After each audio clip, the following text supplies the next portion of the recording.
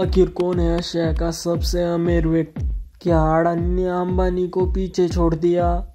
जानेंगे इस वीडियो में। आप बने रहिए। मुकेश अंबानी की कुल संपत्ति 9,820 करोड़ डॉलर है और गौतम अडानी की कुल संपत्ति 9,060 करोड़ डॉलर है।